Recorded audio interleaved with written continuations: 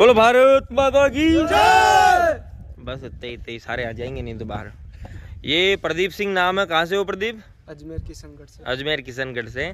इसने एकेडमी में रहते हुए कितनी भर्तियाँ क्लियर कर दी? दो क्लियर दो। कौन कौन से सेंटर की थी? एक गार्ड सेंटर कामठी की और एक जाट सेंटर बरेली की। जाट सेंटर बरेली की।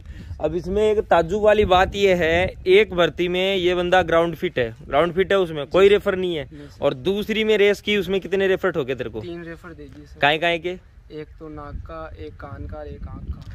अब तो जो बच्चे जो निराश हो जाते हैं कि मैं तो अनफिट हो गया हूँ पहली भर्ती में या मेरे साथ ये क्या हो गया है ये तो गलत हुआ है अब मेरा तो कुछ हो नहीं सकता तो आपको बता दूँ कि वहाँ चालीस चालीस बच्चों की लाइनें रहती है। हाँ तो एक साथ सबका होता है तो उसमें अगर उनको डाउटफुल लगता है तो आपको रेफर दिया जाता है और रेफर देने के बाद में आप एमएच जाके आराम से उसको तुड़वा सकते हो। सिस्टम है ना? हाँ सर। तो ये आपके लिए बहुत महत्वपूर्ण जानकारी है। और ये प्रदीप आज फिर से आया दो में इसकी रेस क्लियर थी। यहाँ कितने दिन तैयारी की? सर तेईस दिन की थी तेईस दिन की थी मात्र। रेस हो गई ज़बरदस्त तरीके से। तो ये पावर है वीरू फौजी डिफेंस एकेडमी का। और फिर से बता दें कि ग्राउंड बार बार लगातार हम तैयार करते हैं और हमारे सहयोगी दल के रूप में रहे ये रहे कुछ बच्चे। ये आदमी नहीं है एक। तू साइड में हो जा। ओहो ये क्या देख नेताजी की तरह कर रहा है बेटा। चल जा भाई प्रदीप। बहुत बहुत बधाई हो तुझे।